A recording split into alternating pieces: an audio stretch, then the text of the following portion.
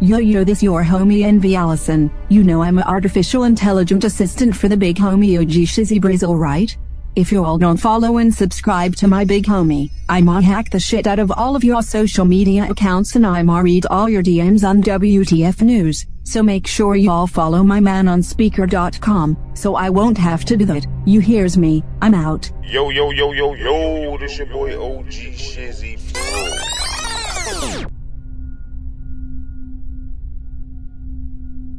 Yo, I ho ho ho ho ho.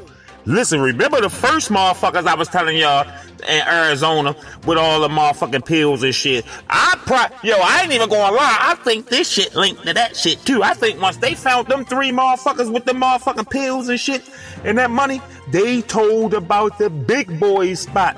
This motherfucker, they done found four niggas in Arizona and shit well, Phoenix, Phoenix, Arizona, all that shit the same. That's why I say I think this shit connected.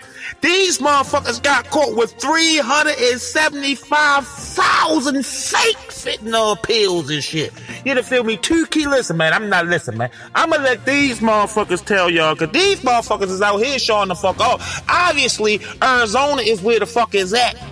On his, uh, obviously that is the motherfucking manufacturing headquarters state or the fentanyl pill. If motherfuckers getting caught with 35,000 pills, that's young boy pill. They say, man, fuck that little 35,000. When we sitting right here with 35, with 350,000, that's 10% of what the fuck we got right here. These motherfuckers and got bag told them, yeah, you know, on that little block right there by the cactus in the desert and shit, that little shack right there is 375,000 hear the film. But these motherfuckers done ran it out. I, I got to let y'all hear this one. So you know here on WTF News, Shizzy Lit Podcast conglomeration, right?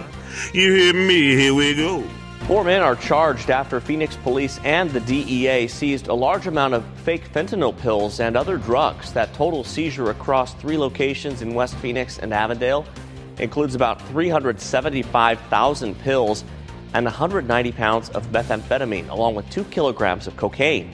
The four men all suspected of being involved in the distribution of these drugs throughout the Phoenix area. Shout out to everybody who jacked that Shizzy Lit podcast and WTF News. We appreciate all of your Don Cheadle face asses, dying laughing. Anyway, keep listening. I'm out this bitch. You understand me?